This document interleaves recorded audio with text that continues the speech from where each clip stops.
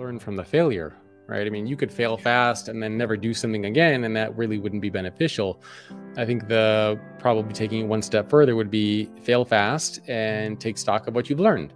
And so I've heard lots of stories from some of the CEOs that I interviewed where they were vulnerable, they had it used against them, and then they had a choice. They can either decide I'm never going to be vulnerable again, or they take a step back and they say, well, what do I what did I learn about myself and the situation and the other person?